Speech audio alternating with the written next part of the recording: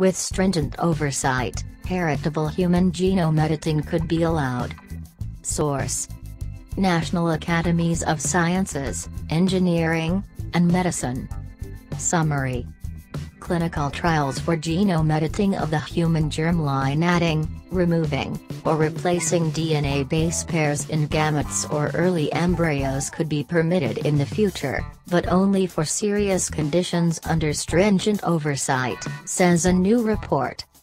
Clinical trials for genome editing of the human germline, adding, removing, or replacing DNA base pairs in gametes or early embryos, could be permitted in the future, but only for serious conditions under stringent oversight, says a new report from the National Academy of Sciences and the National Academy of Medicine. The report outlines several criteria that should be met before allowing germline editing clinical trials to go forward.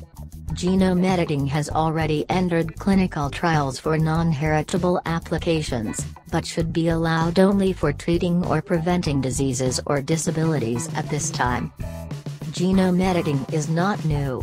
But new powerful, precise, and less costly genome editing tools, such as CRISPR-Cas9, have led to an explosion of new research opportunities and potential clinical applications, both heritable and non-heritable, to address a wide range of human health issues.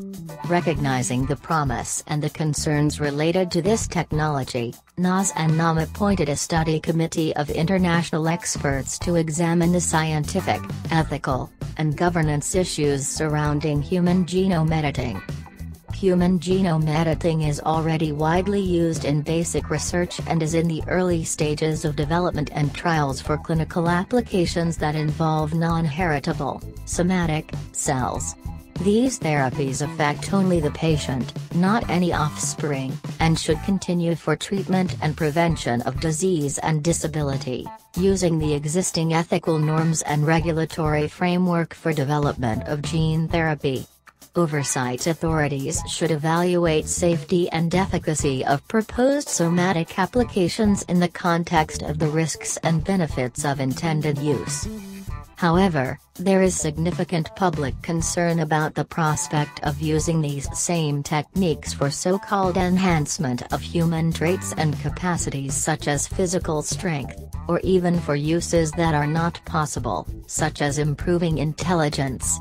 The report recommends that genome editing for enhancement should not be allowed at this time, and that broad public input and discussion should be solicited before allowing clinical trials for somatic genome editing for any purpose other than treating or preventing disease or disability human genome editing holds tremendous promise for understanding, treating, or preventing many devastating genetic diseases, and for improving treatment of many other illnesses, said Alta Charo, co-chair of the study committee and Sheldon B. Lubar Distinguished Chair and Warren P. Knowles Professor of Law and Bioethics, University of Wisconsin-Madison. However, Genome editing to enhance traits or abilities beyond ordinary health raises concerns about whether the benefits can outweigh the risks, and about fairness if available only to some people. Germline genome editing, in contrast, is contentious because genetic changes would be inherited by the next generation. Many view germline editing as crossing an ethically inviolable line, the report says, Concerns raised include spiritual objections to interfering with human reproduction to speculation about effects on social attitudes toward people with disabilities to possible risks to the health and safety of future children. But germline genome editing could provide some parents who are carriers of genetic diseases with their best or most acceptable option for having genetically related children who are born free of these diseases. Heritable germline editing is not ready to be tried in humans. Much more research is needed before it could meet the appropriate risk and benefit standards for clinical trials. The technology is advancing very rapidly, though, making heritable genome editing of early embryos, eggs, sperm, or precursor cells in the foreseeable future a realistic possibility that deserves serious consideration, the report says. Although heritable germline genome editing trials must be approached with caution, the committee said, caution does not mean prohibition.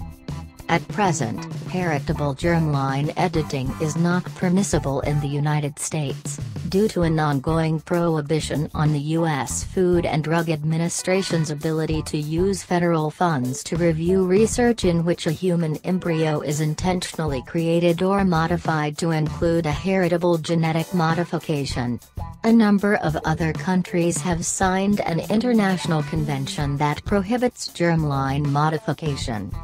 If current restrictions are removed, and for countries where germline editing would already be permitted, the committee recommended stringent criteria that would need to be met before going forward with clinical trials. They include, 1. Absence of reasonable alternatives, 2. Restriction to editing genes that have been convincingly demonstrated to cause or strongly predispose to a serious disease or condition, 3. Credible preclinical and or clinical data on risks and potential health benefits, 4. Ongoing, rigorous oversight during clinical trials, 5 comprehensive plans for long-term multigenerational follow-up, and, 6. Continued reassessment of both health and societal benefits and risks, with wide-ranging, ongoing input from the public. Policymaking surrounding human genome editing applications should incorporate public participation, and funding of genome editing research should include support to study the socio-political, ethical, and legal aspects and evaluate efforts to build public communication and engagement on these issues. The report recommends a set of overarching principles that should be used by any nation in governing human genome editing research or applications. Promote well-being, providing benefit and preventing harm to those affected transparency, openness and sharing of information in ways that are accessible and understandable to patients, their families, and other stakeholders. Due care, proceeding only when supported by sufficient and robust evidence. Responsible science, adhering to the highest standards of research in accordance with international and professional norms. Respect for persons, recognizing the personal dignity of all individuals and with respect for their decisions. Fairness, treating all cases alike, with an equitable distribution of risks and benefits. Transnational cooperation, committing to collaborative approaches for research and governance while respecting different cultural contexts.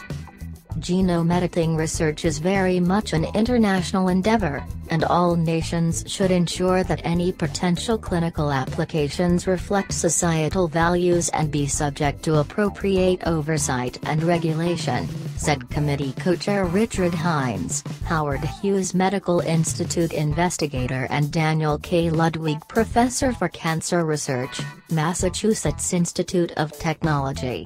These overarching principles and the responsibilities that flow from them should be reflected in each nation's scientific community and regulatory processes.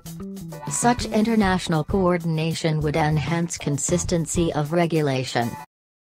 When you back, back, back, back, back it up and you drop it down low.